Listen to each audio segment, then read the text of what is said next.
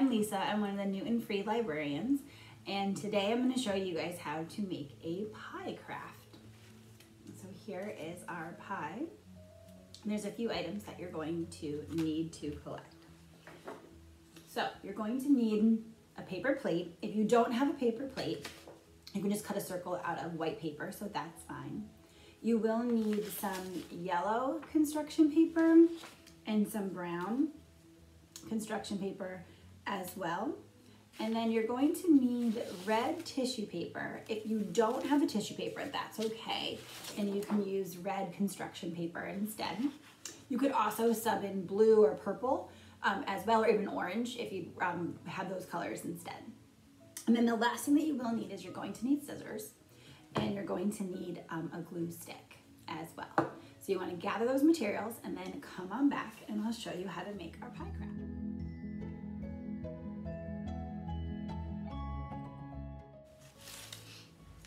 So the first thing that we need to do is get our circle. So if you have your paper plate, then you don't have to worry about cutting anything out.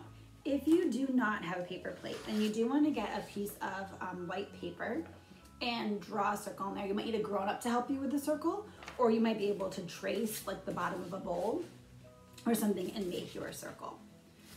So you're gonna cut out, and it's okay if it's not perfect, you're gonna cut out your circle shape. Then we're gonna start actually with the outside edges. So we're gonna start with the brown paper. And what you wanna do with your brown piece of paper is you wanna cut it into rectangle shapes.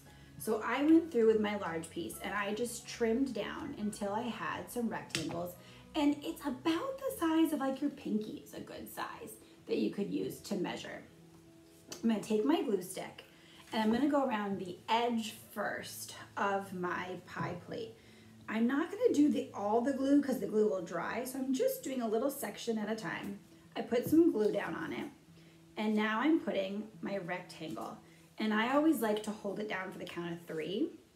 So one, two, three to make sure it really stays on there. One, two, three, and I'm gonna go all the way around my pie. You also can do the shake test to make sure that it stays on there for you. So I'm gonna finish going all the way around my pie plate. I'm gonna do my next section. A little bit more glue. And then grab my brown rectangles and I'm adding them on there. And some of my rectangles are fatter, some of them are skinnier, and that's okay. Whatever size you did will work. And you can leave a little bit of space. It doesn't have to be perfect between them. I'm gonna show you one thing that you can do, and this is just a choice, you don't have to, but you might wanna curl the end. And you can do that just by curling up that little bit. And then now my pie crust is kind of angled and curled in. So you might want your pie crust to curl a little bit. You could also put it around one of your fingers and do it that way. And then when you let go, it'll be curled up. Up to you if you want flat crust or if you want it to be curved.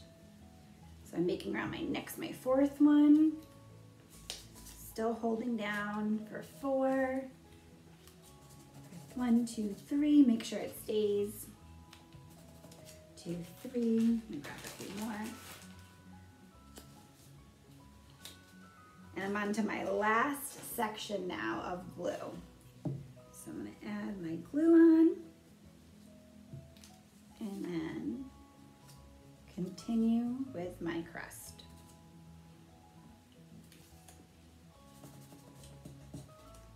And I have just a few left.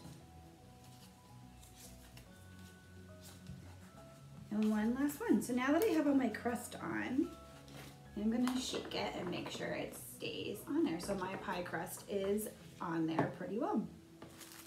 Now you're gonna need your tissue paper um, or your construction paper, like I said, either one could work. So whichever you have nearby. And like I said, um, with the materials that we need, you can also flip it out for different ones. So if you want blue or you have blue instead or you want purple, you have those options. So what you're going to do with the red paper is, I'm open mine up, is you're just going to cut down a strip. And my paper is folded, so I'm actually cutting two layers at once. You may need a grown-up to help you cut through it. You might want to find your safe adult and they can help you with that. And then now I'm just gonna take my long strip of red tissue paper and I'm gonna cut it into squares. They don't have to be a certain size. And I'm gonna continue cutting until my whole strip is used up of the tissue paper cut now into squares to use. I'm gonna go back to my glue stick and I have the whole middle area that is empty. So we're gonna fill this in with the red. So again, I'm gonna glue, put glue on a good section and I'm gonna take my red paper and I like to crumple it because a lot of times if you're doing like a cherry pie, you can sort of see some of the bumps from the cherries that are there. It's not all perfectly smooth. Um, you could though, if you'd rather have it be smooth, you could just do it flat. So you got two choices. I'm kind of crumbling, but you could also do a flat one if you'd prefer to do a flat one. So I'm gonna continue. all the way through.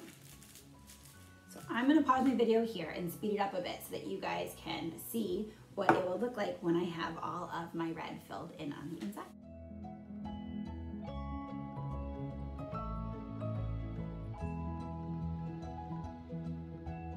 All right, so you should have finished your center of your pie. If it was red or whatever other color um, you ended up choosing. And now we're gonna need the yellow paper. So with the yellow paper, you're going to want to cut into skinny strips that are gonna be the top part of our pie. So I'm doing, it's probably less than an inch. And then I'm cutting this piece in half. And to do that, I'm just gonna fold it in half like this. And I'm gonna take my scissors and cut right on my fold. You want the yellow to be long enough, and you could do it skinnier than this if you wanted, but you want the yellow to be long enough to cross the pie but not go off the edge. So I'm gonna take my strips that are the, gonna be the top of our pie, I'm gonna put glue right on them. And I'm gonna do three strips first. So I'm gonna do three strips going the same direction first. And this goes right on top of your red, or if you did a different color, whatever the other color was that you did. So I'm gonna do my last strip, and then I'll hold it up so you guys can see that I have three going in the same direction. So here are my one, two, three in the same direction. Now we're gonna do three going the other way on top of it. So I'm gonna get more glue on my strip and now this is going on top of the other yellow strips.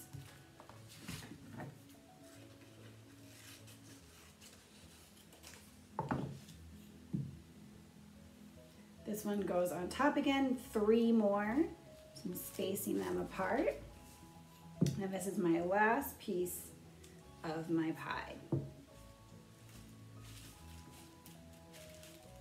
A little bit more glue so it will pass my shake test.